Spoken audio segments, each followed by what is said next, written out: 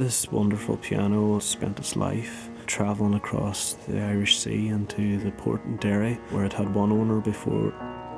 It went to quite an important figure in the town, which was Dr. Joe Cosgrove, who was my wife's grandfather.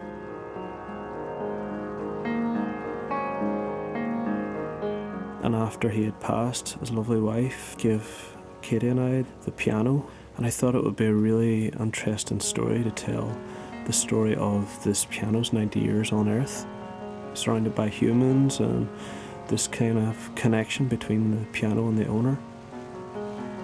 Its voyage to its home was from the Irish Sea up the River Foyle to the Lisahally docks.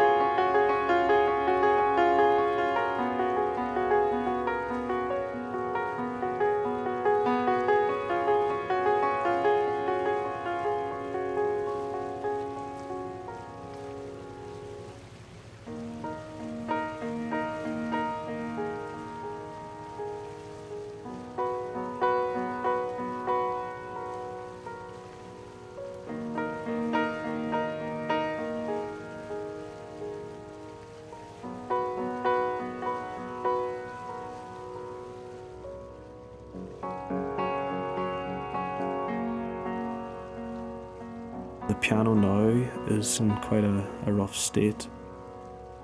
We've tried to salvage it as much as we could, so this is almost like its final voyage. It's on the, the river that you know it arrived on, so yeah, it's pretty special.